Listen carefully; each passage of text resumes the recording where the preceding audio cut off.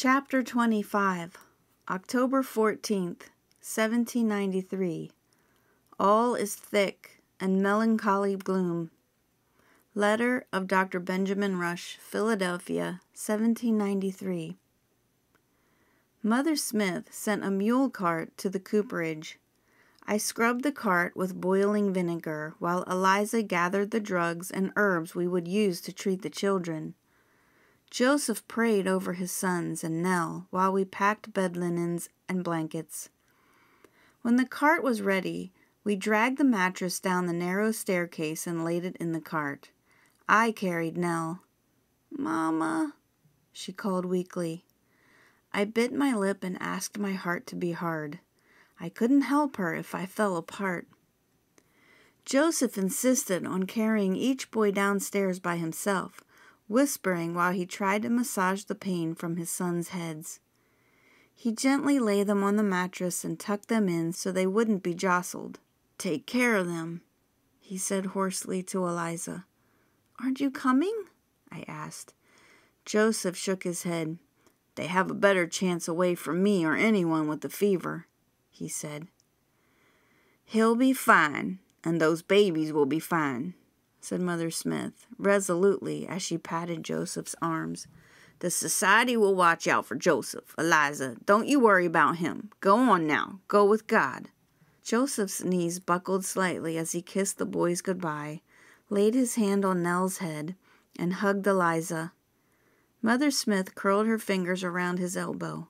His tall frame leaned against her withered one as Eliza slapped the mule's rump and the wheels of the cart squeaked. The city was darker than I had ever seen. The moon had already set, but no light flickered in the whale oil lamps that lined High Street. The lamplighters had all fled the city or died. Candlelight spilled from only a few windows, and the stars were faint and distant, as far away as hope or the dawn. We struggled to get the mattress out of the cart at the coffee house our arms strained under the awkward weight, dragging it around to the back gate, through the yard, and finally in the back door.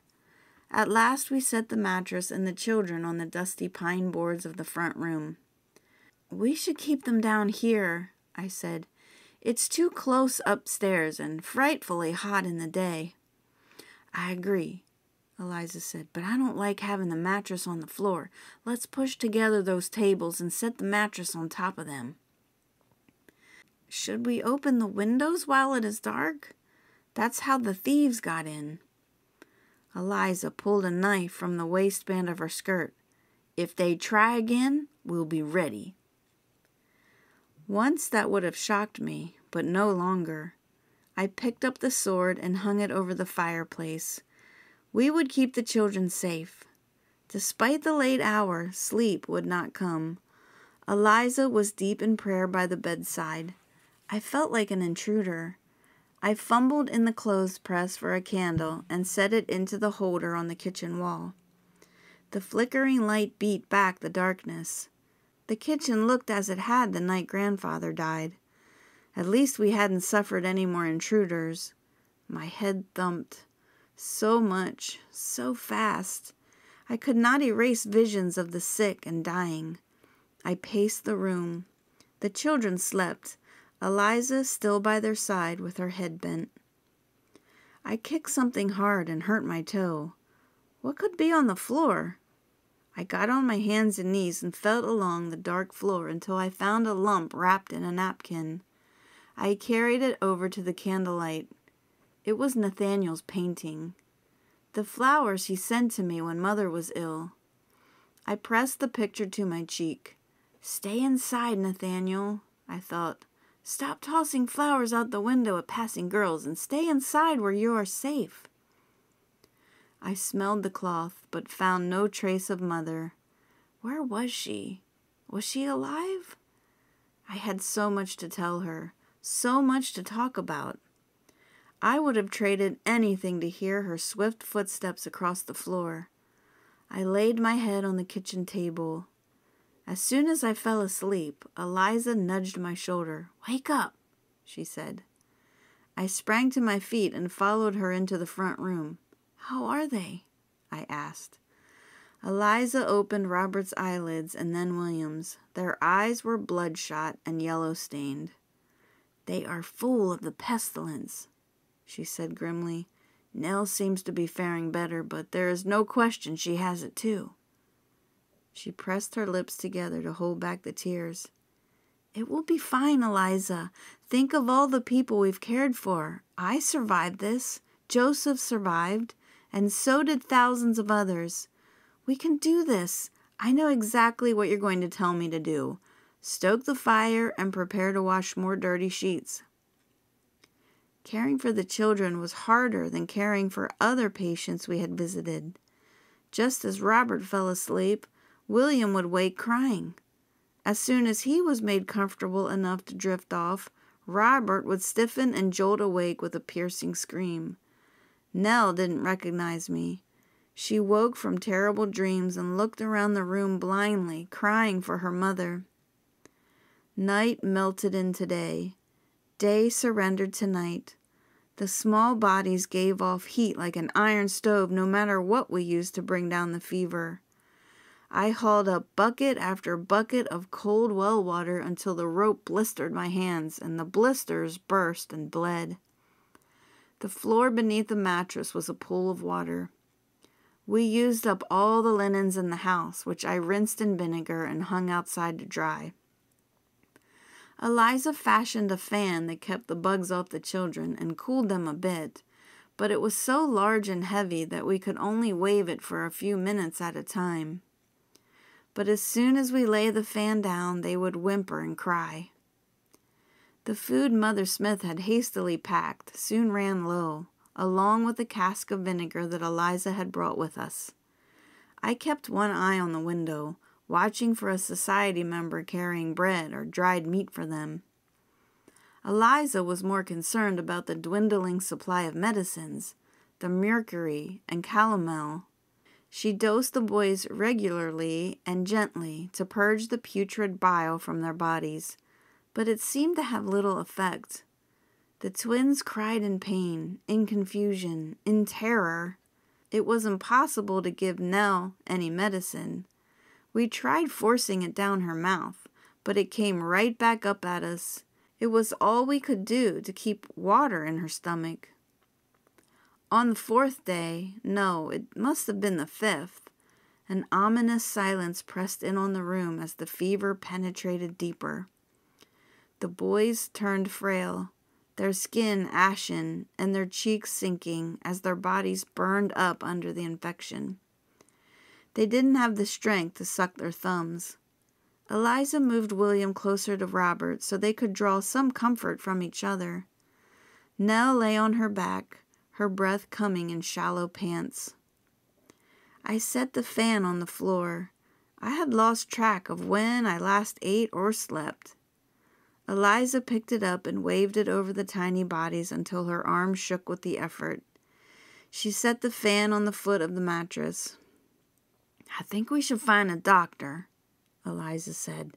They should be bled. No, Eliza, don't bleed them. It will kill them for sure. It won't work. I don't like the thought of cutting them either, but it may be our only hope. Dr. Rush recommends it. He was bled himself when he was ill.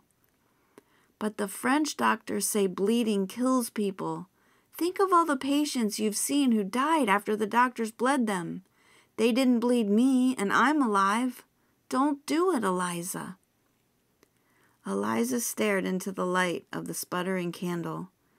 They took 20 ounces of blood from Joseph, and he will live for years.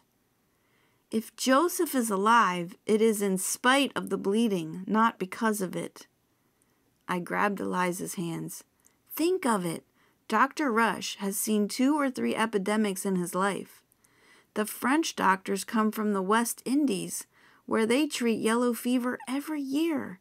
Surely their experience is more valuable. Eliza pulled a hand away and stroked William's arm. I don't know what else to do, she whispered.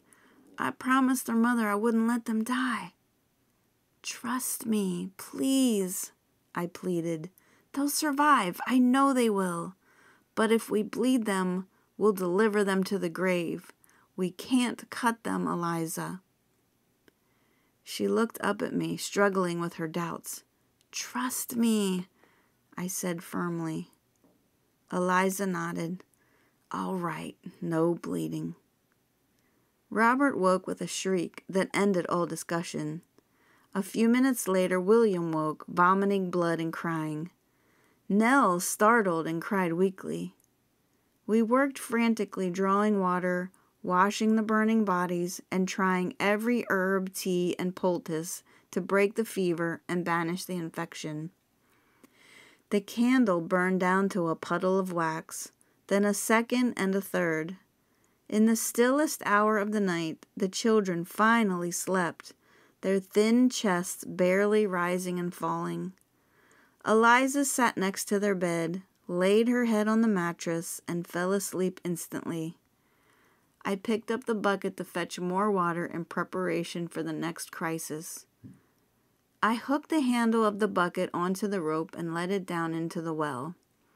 I tried to watch its progress, but it was soon swallowed up in the darkness. My eyes closed.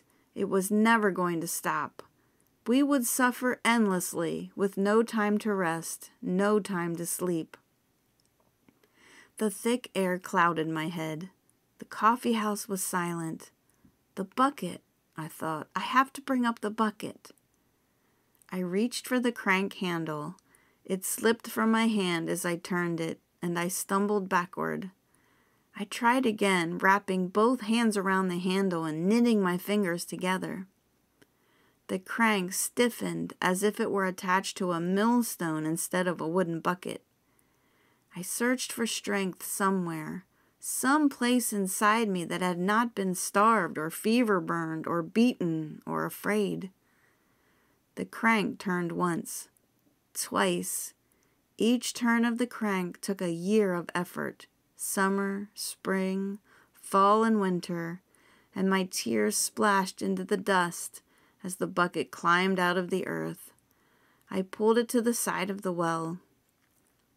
Shadows danced into the garden from the candlelight. I followed the jumping light into the garden, where dry stalks pointed to the skies like scrawny fingers, and rotted, wormy vegetables sank into the cracks of the parched soil. We were trapped in a night without end. I shook my head to clear it of the visions rolling across my mind. Where was the little girl who planted the bean seeds? Where were mother and grandfather and the dead mouse that flew out the window a hundred, a thousand years ago? And Blanchard's yellow silk balloon that tugged against its ropes, hungry to escape the confines of the prison yard. What became of it all? My eyes closed. I could see that clear January morning, the moment of release when the balloon floated above the rooftops. Thousands of voices cheered and screamed with delight. Nathaniel grasped my hand and we watched as the golden sphere ferried Monsieur Blanchard as the golden sphere ferried Monsieur Blanchard and his little black dog away on the wind. I thought all things were possible in heaven and on earth that day. A whisper of wind passed by from the north. It lifted the hair off my face and rattled the squash vines. I shivered. Only the soles of my feet were warm, heated by dirt that had absorbed the sun all day. So tired. I lay down between the rows and rested my head on the ground. Chapter 26 October 23rd, 1793. I think there is now that kind of weather fermenting which we so much want and has been so often wished for. Letter of John Walsh, Clerk, Philadelphia, 1793. Something rough lapped at my cheek. I turned away with a groan. It followed and rubbed again, like a damp piece of burlap. I pushed it away and came up with a handful of orange fur. Silas, go away. Let me sleep. I haven't slept for years. Silas jumped on me and kneaded with his front paws. The weight on my empty stomach hurt so much. I sat up, my head spinning. My eyes opened slowly, the lashes sticking together. I blinked. An early winter quill had etched an icy pattern over the garden. My skirt looked as if it had been dusted with fine white flour. I shivered. I was cold, truly cold, not cold with a fever or grippe. I sneezed and bent to look closely at the white veil that lay over the weeds. Frost! I'm dreaming, I told Silas. The cat ignored me and pounced on a sluggish beetle that lumbered under a leaf. Starving men dream of food. I dream of frost. I rubbed my eyes and pushed myself to my feet. My back creaked as I rolled my shoulders. I breathed deeply. The cold air chilled my nose and crackled in my lungs. The fetid stench that had hung over the city for weeks was gone, replaced with brittle, pure air. I looked around the garden. No insects hovered over the dying plants or the well. The entire yard sparkled with diamonds of frost that quickly melted into millions of drops of water with a gentle kiss of the sun. Frost. This was no dream. Eliza! Eliza! Eliza stumbled out onto the porch, alarmed and confused. Look, Eliza! I cried. It's frost! The first frost! The end of the fever! She bent down to touch the pale crystals, then rubbed her cold fingertips over her lips. Lord have mercy, she whispered. We made it. She turned to me. We made it! We flung our arms around each other and jumped up and down, laughing for joy. Wait, Eliza said suddenly as she pulled away.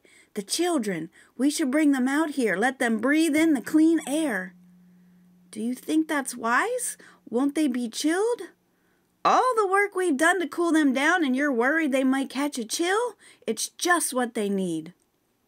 The bone grinding fatigue and numbing hunger of the past weeks evaporated as we carried grandfather's mattress down from the bedchamber and set it in the middle of the yard. Nell, Robert, and William fussed when they were brought outside, but they sat up enough to drink warm water sweetened with the last of the molasses, then fell asleep as their skin cooled gently. A messenger from Joseph arrived at midday bearing fresh eggs, pumpkins, three kinds of bread, and a joint of beef. Farmers had come back into town following the frost, and their prices dropped as quickly as the temperature. The messenger cautioned us to stay away from the center of town for another week. There were sure to be new fever cases until summer's grip was well and truly broken. Eliza told me to eat slowly or I would be sick again. For a change, I listened to her. We fed the children small bits of meat and warm cider. Eliza and I shared a loaf of bread at the kitchen table. Never had such a plain meal brought such satisfaction. When the children fell asleep after the meal, I took a nap even though it was the middle of the afternoon. I woke to the sound of heavy furniture being dragged across the floor. Eliza, what in the name of heaven? Eliza looked up. She had pushed the chest of drawers half the distance to the kitchen. I've been watching the signs, the way the birch leaves flip in the breeze, the shape of the clouds, and the color of the sun now that it's setting. I predict another frost tonight. We need to get all the furniture outside and expose it to the cold. It's the only way to destroy the pestilence. Come and help me with this chest. I thought it was a ridiculous notion, but I helped her carry the furniture we could handle outside. The children watched us as if it were completely normal to set furniture outside. Their fevers were broken and their stomachs full. They slept for hours, woke for food, then went back to sleep. Joseph himself arrived the next morning with the news that the market had reopened. The twins and Nell were resting on the mattress under the cherry tree when he strode across the yard and took all three in his arms. Eliza and I let our tears fall without shame. Joseph opened the small sack he carried. He took out tops for the boys and a small doll for Nell, toys he had made for them by himself. As the children tried to spin the tops on the lumpy mattress, Joseph joined us on the porch. He took both Eliza's hands and mine and held them in his. Thank you, he said. Thank you for giving me back my boys. Balderdash, I said. Nothing could keep those rapscallions down for long. Pour yourself some cider and sit with us, said Eliza. We sat down comfortably and watched the children play. I poured a second mug of cider. You'll hear from your mother soon, I wager, Joseph said. Eliza shot her brother a warning look, but he ignored it. If I were you, I'd head down to the market, he continued. That's where all the best gossips in town have gathered. I glanced at Eliza. May I go? You don't need my permission, Eliza said. She was right. I could choose for myself. The market seemed like a festival, its stalls overflowing with food and rejoicing. It was noisier than ever before. Talk, talk, talk, friends sharing the news, overblown laughter, strong lunged farmers bellowing their wares. A welcome wave of noise and good cheer. I drifted from stall to stall, eavesdropping on good news and bad. Most of the conversations were about lost relatives and friends. Yellow fever had scattered the residents of Philadelphia to the four winds. No one could guess how long it would take until everyone was accounted for. Mattie Cook! Mrs. Epler cried. Thanks to good you survived. But you are so thin, Lickben. You look just like your mother. She works so hard. Here, two fat hens for you and your family, and have some eggs. Thank you very much, Mrs. Epler, I said, pulling out my purse. No, no, no money. My gift. The plump egg seller insisted. How is Mrs. Cook? Did you go out to the country? I laid the dead hens in my basket. Mother is missing, I said. Grandfather is dead. Mrs. Epler's hands flew to her cheeks. You poor child. She pulled me close and squeezed me hard, her head barely as high as my shoulder. Little Mattie, little Mattie. It's fine, Mrs. Epler. I'll be fine. I unwrapped her arms from me. I'm sure Mother will be home soon, but please ask folks if they've seen her. Of course, of course, Mrs. Epler said, bobbing her head up and down. I'll ask everyone in the whole city. I had to smile at that. The news would be halfway to New York by nightfall if Mrs. Epler had anything to do with it. All the farmers were cheerful and generous. I paid very low prices for peaches, carrots, and beets. Though my basket was full, I found room for a sack of hard candy and a small loaf of sugar. For the children, I told myself. I had to taste the candy, of course, to make sure it was not stale. I was so vigilant that I tasted several pieces. Nell, Robert, and William deserved the best. My shopping was done, and I had questioned everyone about Mother, but still I lingered, caught between wanting to leave and wanting to stay until I could sort out the thoughts battling in my head. What now? Should I travel to the Ludingtons' farm? Wait in town a few more days? I looked over a selection of bruised apples. Part of me did not want to know what had happened. If Mother was dead, I'd have to sell the coffee house or have the orphans' court sell it for me. I'd get work as a scullery maid or move into the orphanage and do laundry. I looked past the apple seller to the haberdasher's window behind me. My face looked back at me from the thick glass. Mrs. Epler was right. I was thin. Yellow fever had certainly done away with vanity. I lifted my chin. The shape of my face looked for all the world like mother's, her nose, her mouth but my eyes were my own. I blinked. A scullery maid? Ridiculous. I was Mattie Cook, daughter of Lucille, granddaughter of Captain William Farnsworth Cook of the Pennsylvania 5th Regiment. I could read, write, and figure numbers faster than most. I was not afraid of hard work. I would set my own course. Someone placed a hand on my elbow. I hoped I might find you here. A low voice rumbled in my ear. My heart jumped. Nathaniel! I wanted to throw my arms around him or jump up and down, or I wasn't sure what I wanted to do. I wanted to stop blushing. I tried to collect myself. How are you? I asked. Think of something intelligent, I commanded myself. Don't be a ninny. A slow smile spread across his face. Had he grown even taller? Much better now that I've found you, he said. His hand stayed on my elbow. I'm sorry I didn't bring you flowers. That's all right, I said, a ridiculous smile on my face. I have your painting on the mantel. It was beautiful. You look quite well. Did you have the fever? No, we were most fortunate. His hand was still on my elbow, warm and friendly. I liked having it there. Why don't I walk you home? he suggested. We walked slowly, step, step, stop and talk, step, step, stop and talk. His voice had a low, sweet note in it, like a cello, and his smile lit up every shadow. I stopped worrying about being a ninny.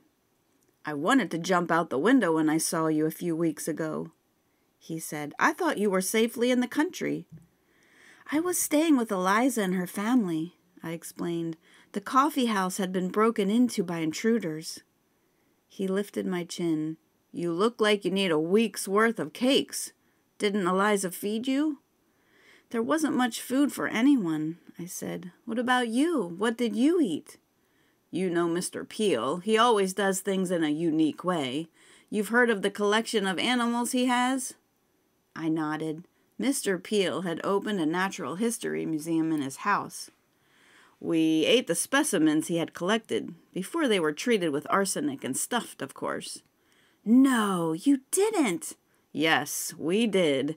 And I'll never eat possum again, I promise you, said Nathaniel. Disgusting. It was as much Master Peale's good humor that kept us going as much as anything. He stopped. We were in front of the coffee house. Some days felt like we were trapped in a nightmare, he said. It's hard to believe it's really over, I said. It feels so strange, so sudden. We're supposed to go back to the way we lived before, but everything has changed. The important things haven't changed at all, Nathaniel said. He stole an apple from my basket and took a bite.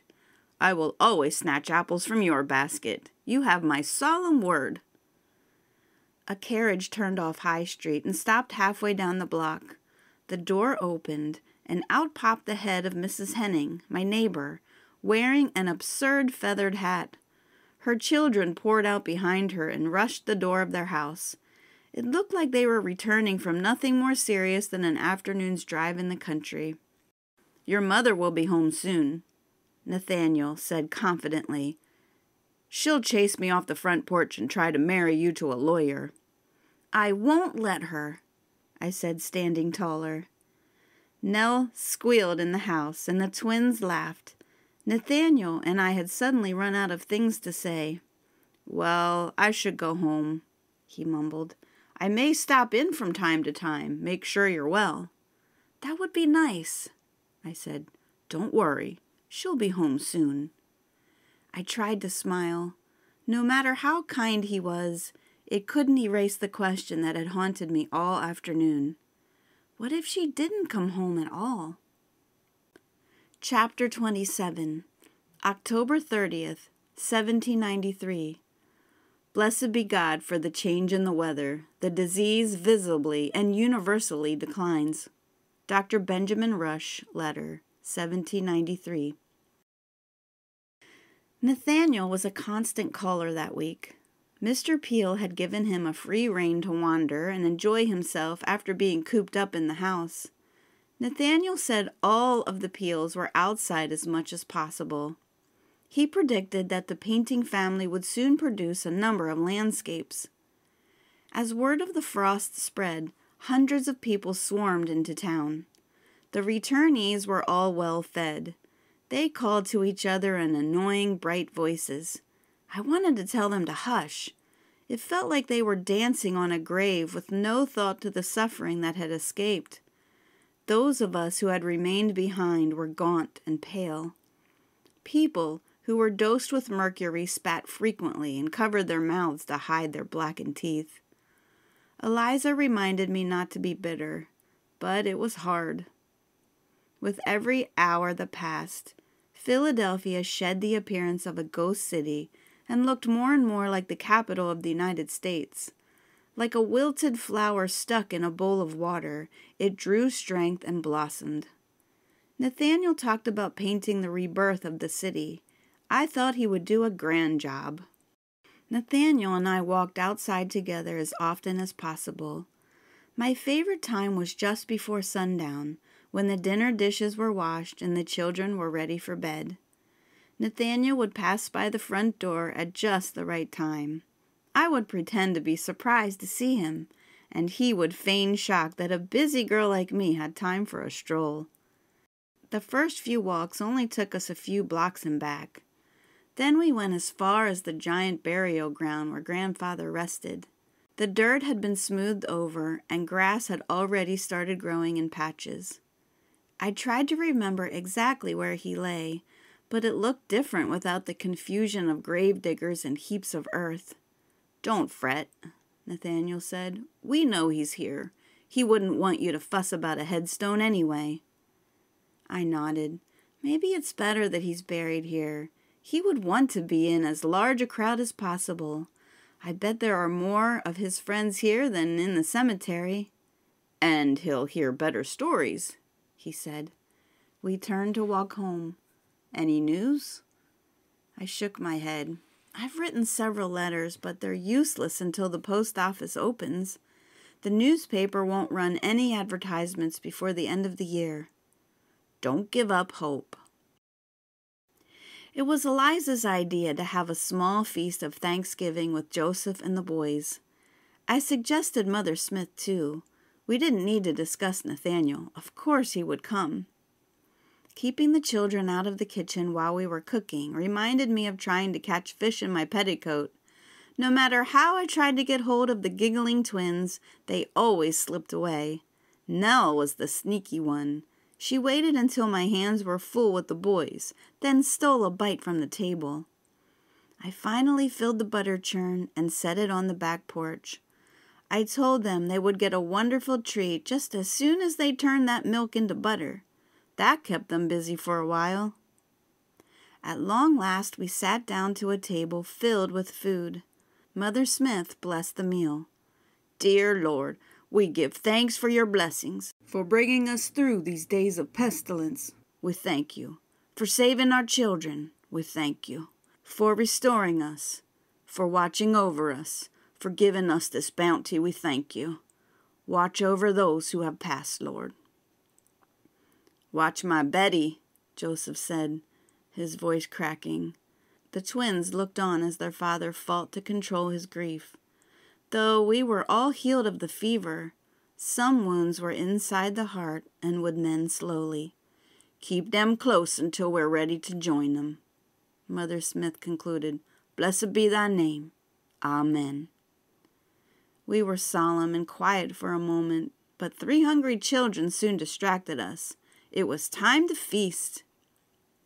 I had forgotten what it felt like to sit down to a proper meal, said Joseph as he cut the beef on William's plate. This is a mighty spread.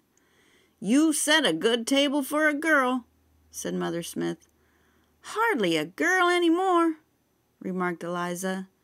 I couldn't have done it without your help, I said. I've been very lucky. You made your luck, corrected Mother Smith. Mm-hmm, mumbled Nathaniel. I thought he was agreeing, but his mouth was so full it was hard to tell. He reached for more potatoes and winked at me. Any news from your mother? asked Joseph. Seems to me that. Eliza shoved a bowl of beans at Joseph to cut him off. I knew what he was about to say. He thought Mother had died. So did Eliza. She'll be back soon, said Mother Smith as she spooned more carrots onto her plate. I can feel it in my bones, and they never lie. Stop fretting and pass me the butter. A contented silence settled over the table as everyone ate their fill. It wasn't until I set out the pies for dessert that Joseph spoke again. Have you decided your price, Matilda? What price? The price for the coffee house. You've got a good spot here. You sell this place, you'll get enough money to set you up nice. Joseph, Eliza scolded her brother. What? he protested. She has to be practical. What's she going to do? She could work with Mrs. Peale, suggested Nathaniel. The Lord will work it out, Mother Smith said. The Lord helps those who help themselves. Joseph said, It's no use pretending. This business needs to be sold for Mattie's dowry, and Eliza has here to find a new job. Eliza could work for Mrs. Peale, too, said Nathaniel. They are in desperate need of a good cook. The other one quit after the possum.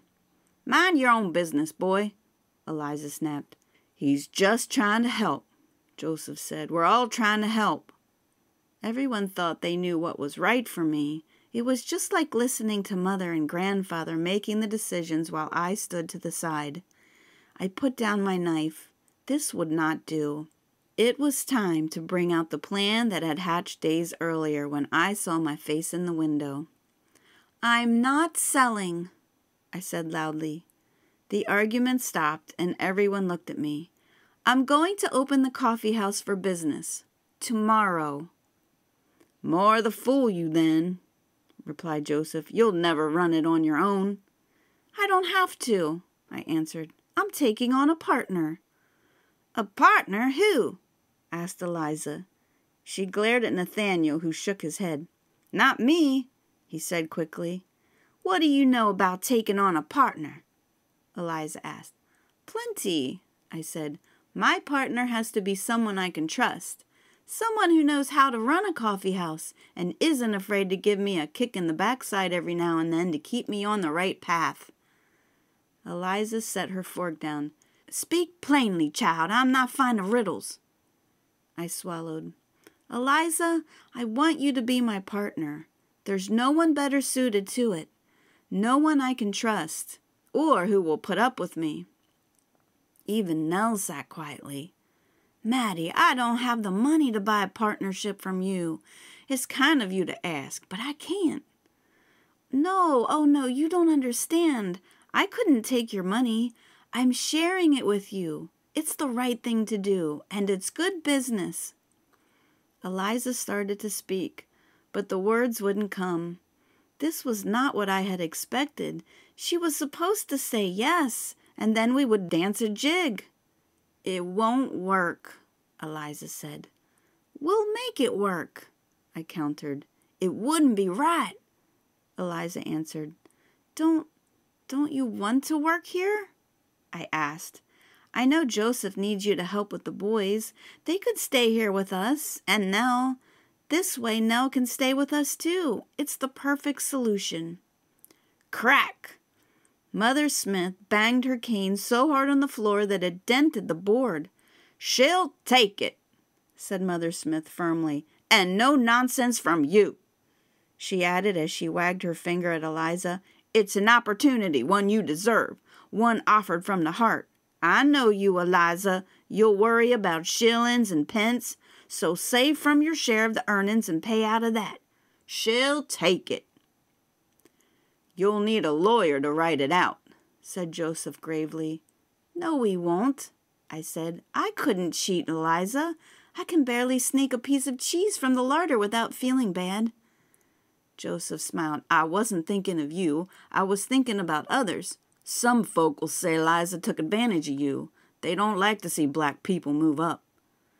Joseph's right, said Mother Smith. People love to talk, so you'll do it by the law with lawyers and wax seals and all. Say yes, Eliza, so I can eat my pie. Eliza looked around the table. It doesn't seem I have a choice, Eliza said. I leaned over and wrapped my arms around her. Nathaniel lifted his cider mug to toast the two of us. A rapid knock at the front door broke up the celebration. I'll get it, I said. Eat up, everyone. There's more in the kitchen. A messenger stood at the door, hat in hand. Excuse me, ma'am, he said. I'm to ask for the proprietor of Cook's. I cleared my throat and smoothed my skirt. I am one of the owners. What can I do for you? The boy held out a bulging sack. My master Jasper Blake asked that I bring you these coffee beans and mention that his warehouse is open for business. He handed me the sack. We expect a ship soon out of Liverpool carrying the finest teas and beans. Your business will be appreciated. I know the name of your master well, I replied. You may convey my thanks to him. I am pleased that he has come through the plague days. Tell him I look forward to examining his goods. The boy grinned as I slipped him a coin. As I returned to the table, Nathaniel stood up and imitated me, pretending to smooth a skirt and fix his hair. You may convey my thanks, he teased. Stop, I laughed. If I'm going to help run this place, I had better act the part. I covered my mouth and giggled. It did feel a bit like play acting. Better get used to that, said Joseph. When word gets out that the Cook Coffee House is open for business again, you won't be able to keep tradesmen or customers away. Chapter 28 November 10th, 1793. Many stores are lately opened, and the city exhibits a scene of increasing trade and bustle. Letter of John Walsh, Clerk, Philadelphia, 1793. Three days after we opened for business, every chair in the front room was filled, the air thick again with arguments, tobacco smoke, and the smell of fresh coffee and cakes. Eliza was in the kitchen cooking up a storm, and the room had never been cleaner. Mother would have been very proud. I carried a tray above my head. Who wants to try some apple cake? A free sample! I offered. Over here, Mattie, over here! The shouts came from all directions. I smiled. Free samples were proving a clever way to get the customers to eat more. Feed them one bite and they'd pay for three more. I quickly distributed the small pieces of apple cake and went through refilling coffee mugs. Another cup? I asked. I picked up a mug in front of a doctor studying the chessboard. He nodded, deep in concentration. He kept his finger on his queen, in danger of being captured by his opponent's pawn. Could I get some soup, too? he asked. This match is far from over. Me too, said his companion. How about some mutton stew? I asked. Perfect. Ha! The doctor rescued the queen by moving his knight. Scoundrel, muttered the other man. Right away, sir, I said, picking up the tray. Eliza and Nathaniel sat in the kitchen. He had stepped in to help us with errands since we opened. He was also Eliza's taste tester. We need more stew, I said. Two bowls. She shook her head. This keeps up. We'll be serving breakfast too. I have plenty of ideas, I assured her. What if we baked small cakes and delivered them to the State House with a handbill advertising our new wares? Eliza frowned. How many cakes? The price of sugar is still high. How about apple bread instead? That's cheaper to make. Nathaniel cleared his throat. I could paint a sign that you could put out front. I could make a design for the handbill, too. And I suppose we'll pay you in cakes, right? I joked. That would suit me fine. He rose from his chair. I have to go to Peale. See you tomorrow. Eliza waited until he had gone. He's useful for a painter. I smiled. Where are the children? Sleeping, thank goodness. When they wake up, I'm going to set them to work churning butter again. That kept you and Polly out of trouble when you were small. I nodded. I want to visit Polly's mother on Sunday. Don't let me forget. Now, I need two bowls of mutton stew. When I had served the stew and filled up the next round of empty cups, I surveyed the room. It was brighter with Nathaniel's paintings on the walls. He had already sold two. Watson next door was interested in selling his lot, but I couldn't afford to build an addition to the coffee house. Not yet. Maybe by spring. The weather would be better then, anyway. Everything was going the way I had planned, but I felt hollow. The outside of my life was sound. Eliza and I had the coffee house. Nathaniel and I had an understanding, Nell would say. I was still a long way from being able to travel to Paris. But it would happen some day. And yet, the fever lingered. Grandfather's chair by the hearth stood empty. The parrot's cage was gone. The ghosts of friends lost in the last months flitted across when I least expected them. And then there was the ache I avoided most of all. The front door swung open with a crash. All conversation ceased. It was Nathaniel struggling to catch his breath. It's the president, he said. President Washington. He's returned. He's coming down High Street right now. The men all abandoned their chairs at once and fought to get out the door. I looked back in the kitchen. I got a cake rising, Eliza said. I'm not leaving that for any man. You go on. Come on, Mattie, Nathaniel called. Hurry! High Street was already lined with people, all peering anxiously up the road.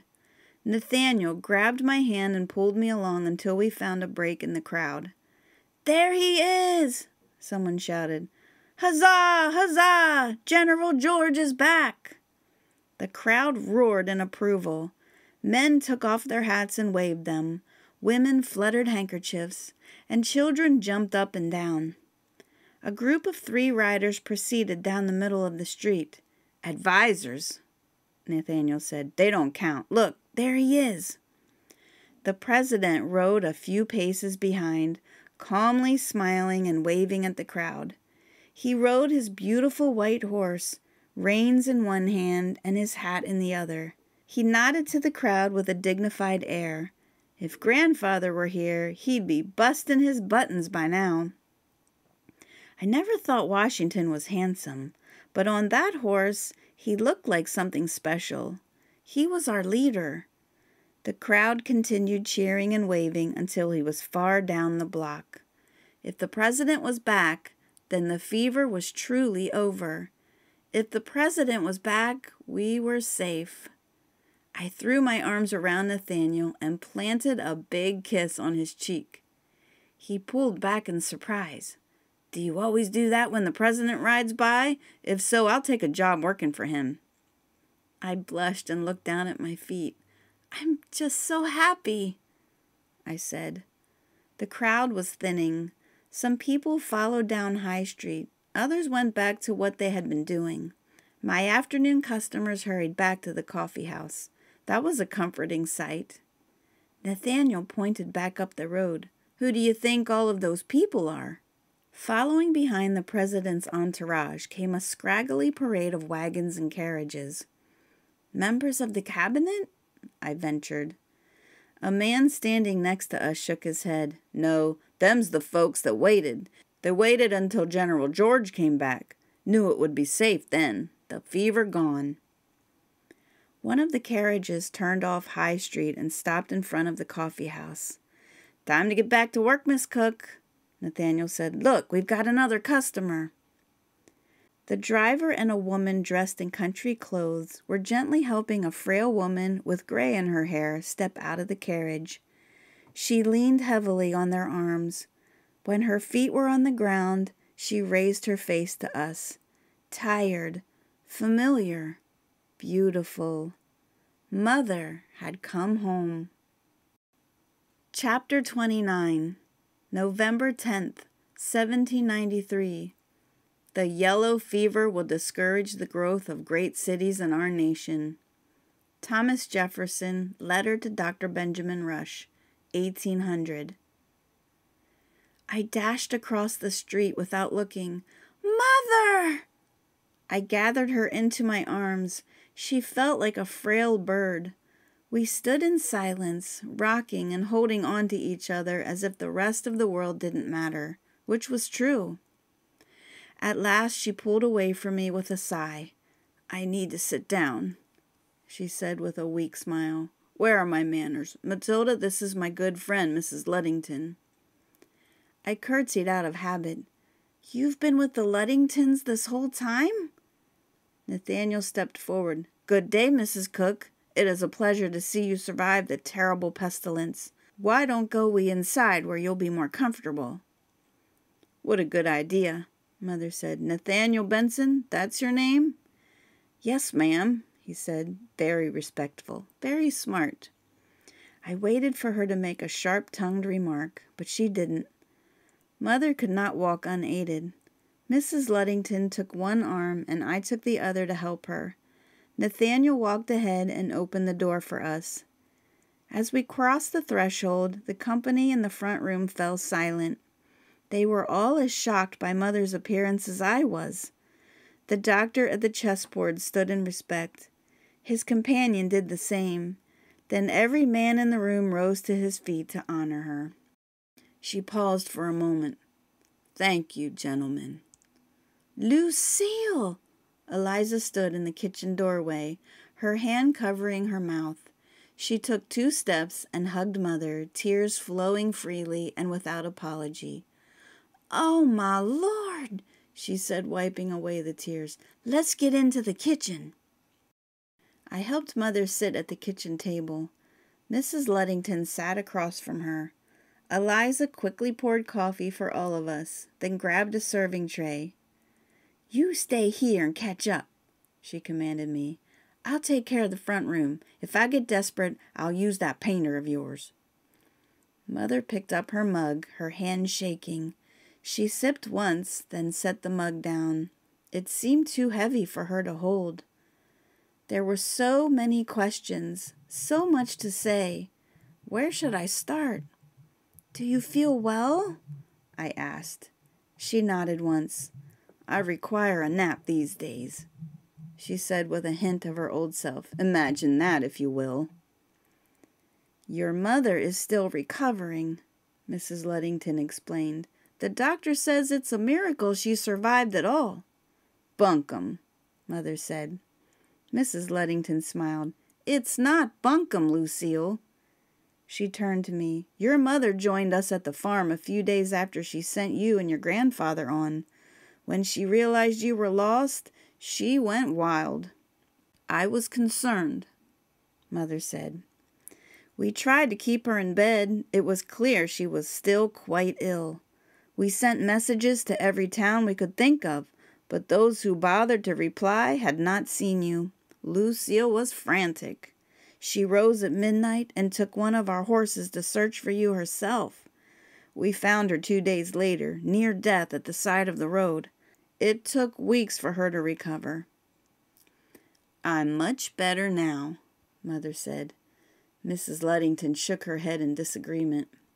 We came when we heard that President Washington was returning. Lucille said that would be the sign that your grandfather was waiting for.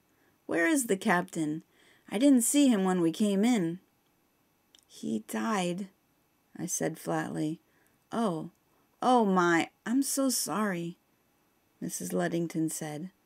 Mother looked into the fire. I waited for her questions, but there were none. Did the doctor prescribe any treatments for you, Mother? I asked. Mrs. Ludington jumped in. She's supposed to live a life of leisure. Those were his exact words. The second attack nearly took her off to join your father. It damaged her heart. She arched her eyebrows. She won't be able to run the coffee house any more. She should sell it and buy a small house near us. Mother pressed her lips together tightly. We'll talk about that later, I said quickly. Can I get you something to eat, Mrs. Ludington? Some stew? The farmer's wife stood up. I promised my husband I would return today, and it is a long ride back. I must go. I tried to convince her to stay the night, or at least take a meal with us, but she was determined. She bent over and hugged Mother briefly, said goodbye to me, and left. I peeked in the front room. A few customers had left. The rest were smoking their pipes and enjoying their conversation. Mother coughed. Is this your work or Eliza's? she asked. Mine, I said as I sat down across from her. I wanted to open again. Eliza wanted me to sell. The clock ticked. William is dead, then? The clock ticked again, then rang the hour. I waited until the noise stopped. Yes, in September. Oh, Mattie. Tears welled in Mother's eyes. Dear God, I was so worried. I couldn't find you, no matter where I looked. I searched and searched until I fell ill again. I couldn't sleep. I was so afraid you were. I'm fine. I'm fine. Shh, please don't cry. Everything is better now. I'm home. You're home. You don't have to worry any more. I drew up a chair next to her, and she leaned against my shoulders. I cradled her head in my arms until her sobs quieted. Tell me how you fared, she said. I can remember so little, and I've lost track of all the weeks. I told her everything, from the time the death cart dumped her at the front door to the first frost. I didn't give her all the details of the intruders or the night grandfather died. There would be time for that later when she felt stronger. Mother's eyes drifted back to the fire burning in the hearth. Her hands lay in her lap, withered and limp. I had never seen her hands stay still before. They had always been busy with cleaning or needlework or polishing. I had a sudden sense of what was to come, and I blinked away the tears. Help me upstairs, Mattie, Mother said. I need to rest. Epilogue December 11th, 1793. We are devoutly to acknowledge that kind providence hath restored our city to its useful state of health and prosperity. Petitions of Citizens to the Council of Philadelphia, 1793. I opened one eye. A scratching noise in the corner of the room had woken me the scrambling feet of a desperate mouse about to become breakfast for a lumpy orange cat. I winced as Silas pounced. The squeaking stopped. I rolled over to look out the window. It was dark still. The faint call of a watchman can be heard down Seventh Street, and a few stars hung still in the sky. I burrowed beneath the warm weight of my quilt, my toes curled at the thought of crossing the icy floorboards on a dark December morning. Nothing gained by delay, I thought. No one else is going to get the house stirring. I snatched my stockings off the stool next to my bed and pulled them on under the covers, taking care not to disturb Nell, who slept beside me. Thank goodness she had learned not to wet the bed before the weather turned cold. I tucked the quilt around her and stood up. Quickly changing into my clean day shift, I stepped into my woolen overskirts, laced my stays, and wrapped a heavy shawl over my bodice. Mother rolled over and snored quietly. She had coughed late into the night. It was good for her to sleep peacefully. I nudged Silas with my toe. The cat daintily picked up his breakfast and made for the stairs. I crossed the hall to the other bedchamber. Eliza stirred in her sleep, mumbling about ginger and nutmeg. Robert and William slept soundly, their arms wrapped around each other in their trundle bed, their chests rising and falling in unison. I crept down the stairs, careful to skip the squeaky ones.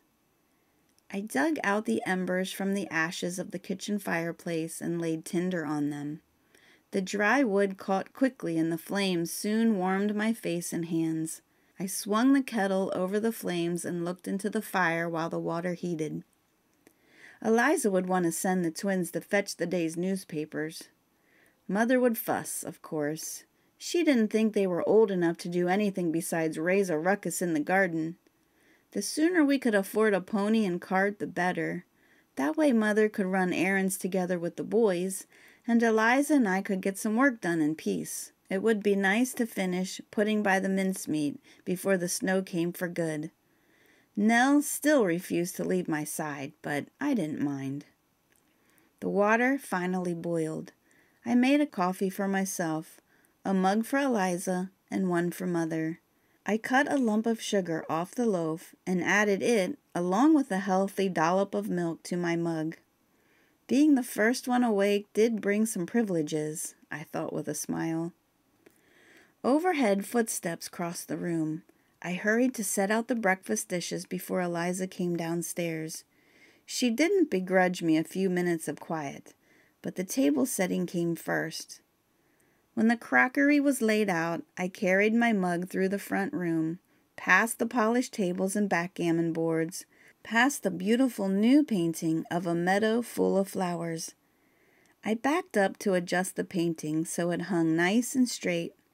Nathaniel was coming along nicely, Mr. Peale said. Three years, maybe four, and he would be able to support himself. That wasn't long to wait. I opened the front door and sat on the step facing High Street. A lamplighter some blocks down reached up with his long pole to extinguish the street lamp. To the east, beyond the river, the stars faded before the promise of a new day. These solitary minutes each morning were fast becoming a habit, a good habit, but one I would soon need a woolen cloak to enjoy.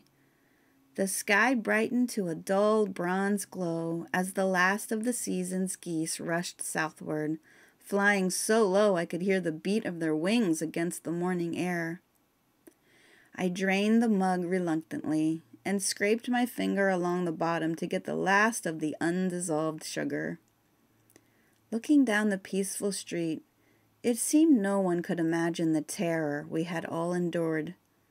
There were many tables with empty places, or invalids who had once been as strong as horses.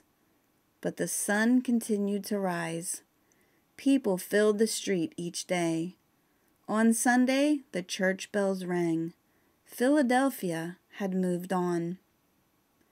Early morning was the only time I felt as if there were ghosts nearby, memories of the weeks of fear, that's when I found myself listening for Polly's giggle or grandfather's voice. Sometimes they felt so close, close enough to tell me I should stop dawdling and get to work. I smiled as the mist faded.